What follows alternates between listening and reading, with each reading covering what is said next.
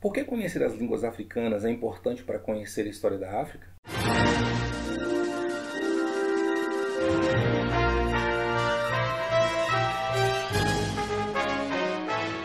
A história da África é a história dos povos que habitam e habitaram o continente africano, bem como suas culturas, tradições, religiões, línguas, cosmovisão de mundo e suas trajetórias ao longo do tempo. Como disse o filósofo moçambicano Severino Ingoenha, a África é uma ideia, e para compreender e construir uma ideia de África que não seja apenas aquela criada e propagada pelos colonizadores europeus, é preciso considerar as diversas vozes que a constituem. A África possui um grau de complexidade linguística mais elevado que qualquer outro continente. A título de comparação, na Europa, com aproximadamente 50 países, são faladas mais de 60 línguas entre oficiais e regionais.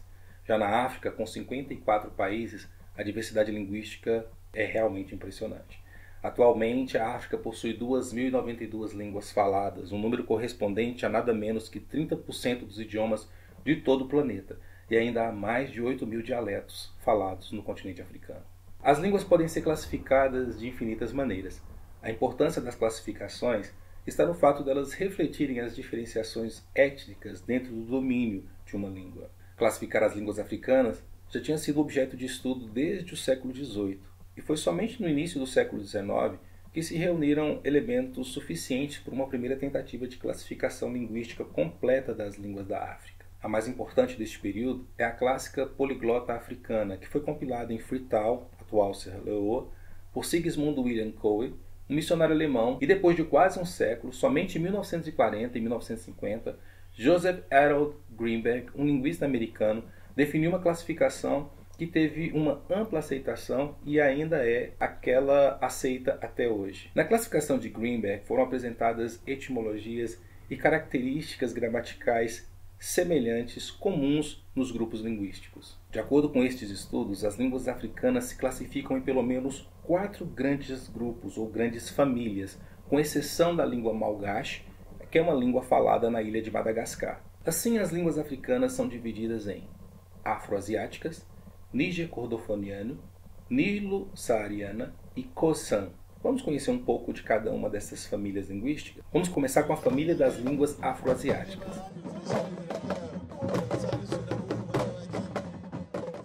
As línguas afroasiáticas, também chamadas de camito-semíticas, têm cerca de 200 a 300 milhões de falantes na África, na África do Norte principalmente, Somália, Etiópia, Eritreia e algumas até na Tanzânia.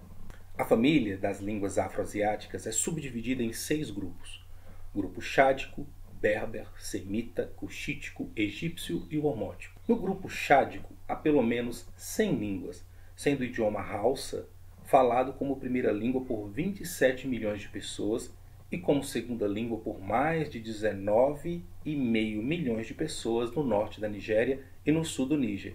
E ele também serve de língua franca, ou seja, uma língua de contato comum. O idioma Hausa tem muitos empréstimos de outras línguas, em particular do árabe. A língua Hausa é ensinada em diversas universidades ao redor do mundo. É a língua mais falada na Nigéria. Você sabia que povos da língua Hausa chegaram no Brasil há mais de 200 anos pelo tráfico negreiro?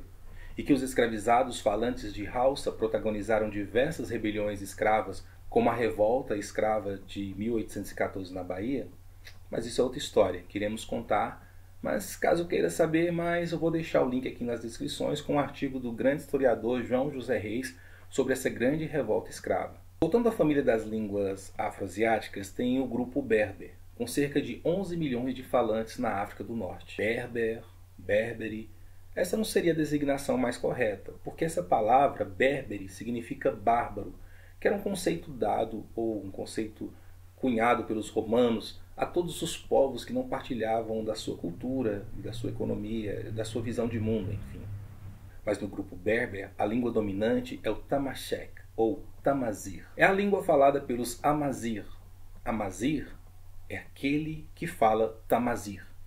Amazir também significa homem livre, bem melhor que berber. Alguns especialistas dizem que o Tamazir é mais antigo que o árabe Onde no mundo se fala tamazir? Cerca de 25% da população na Argélia, ou seja, aproximadamente 8 milhões de pessoas de um total de 38 milhões de habitantes. Cerca de 40% da população do Marrocos falam tamazir. aproximadamente 13 milhões de pessoas. Na Argélia, o tamazi é falado nas regiões da Cabilha, no nordeste da Argélia, e é a principal região de falantes de tamazi. A Cabilha, apesar de ser limitada a nível geográfico, ela é densamente povoada e tem mais de dois terços dos falantes de tamazi argelinos, cerca de 5 milhões de pessoas.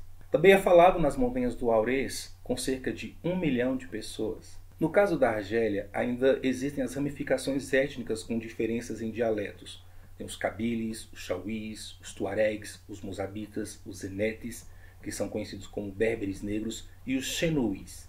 Existem ainda os Tuaregs ou Keltamashek, aqueles que falam Tamashek, que são povos nômades da região do Saara Sahel. Diversos grupos ainda mantêm seus costumes ancestrais, porém a colonização colocou fronteiras onde não haviam.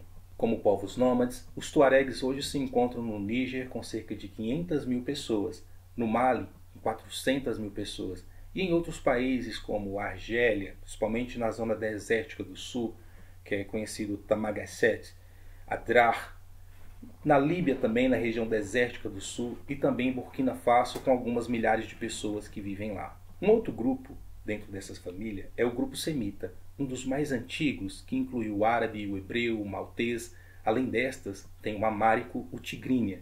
E essas duas línguas, amárico e tigrinha, tem como origem a língua Gez, falada na Etiópia há muito tempo. Há cerca de 1200 anos foi o idioma oficial do reino Aksum e da corte imperial. O Gez é uma língua litúrgica atualmente na Igreja Ortodoxa da Eritreia, da Etiópia, na Igreja Católica Etíope, da Igreja Católica da Eritreia e também do Beta Israel, que são os judeus etíopes. A língua amárica ela é também conhecida como língua etíope. Ela é o idioma oficial da Etiópia e é falado por cerca de 21 milhões de pessoas. O amárico é a segunda língua semítica mais falada do mundo depois do árabe. Um outro grupo é o grupo cuxítico, cujas principais línguas são Beja, falada no Sudão e Eritreia, Oromo, falada na Etiópia. A língua Oromo é a mais falada desse ramo. Ela é a primeira língua de aproximadamente 26 milhões de pessoas e é falada pelo povo Oromo e por nacionalidades vizinhas na Etiópia e no Quênia. 99% dos falantes da língua Oromo vivem na Etiópia, principalmente no estado da Oromia. Na Somália, há cerca de 42 mil falantes desta língua. Uma curiosidade: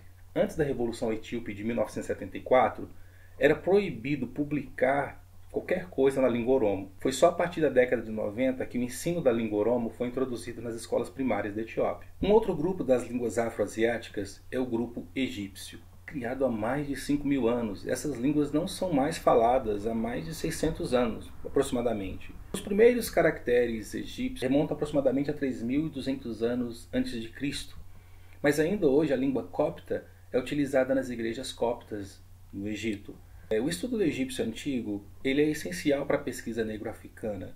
Ele é essencial para contribuir para o estudo do patrimônio cultural africano e para compreender toda a sua profundidade espacial e temporal. Um outro grupo conhecido até recentemente como Cuxítico Ocidental é o grupo Homótico. Ele era falado provavelmente pelos habitantes do sudoeste da Etiópia, entre a parte meridional das gargantas do Nilo Azul e a bacia do Orno. As principais línguas faladas nesse grupo são a Hamerbana Icaro no norte e Bambace ao sul. Como disse, a África possui uma imensa complexidade linguística. Neste vídeo, aprendemos um pouco sobre as línguas africanas da família afroasiática das regiões norte e nordeste da África. Conhecer a língua é conhecer a alma do povo. Não perca no próximo vídeo, onde falaremos sobre as outras famílias linguísticas da África. É claro que no continente são faladas línguas de origem europeia, como inglês, francês, espanhol, italiano e africânder mas prefiro falar delas no contexto apropriado, o da colonização. Como disse antes, a África tem muita história. Se você quer aprender mais sobre a história da África, o canal Caçador de Histórias está abrindo uma turma especial para um curso de História da África. E ao fazer parte deste curso, além de aprender, você tem a oportunidade de ajudar na manutenção deste canal. Para saber mais informações, basta enviar uma mensagem para o telefone DDD 34 99233 9625. Se você gostou desse vídeo, deixe aqui o seu like, se inscreva no canal, ative o sininho de notificação e a gente se vê por aí. Porque tudo tem história. Tudo é história. E sim, a África tem muita história.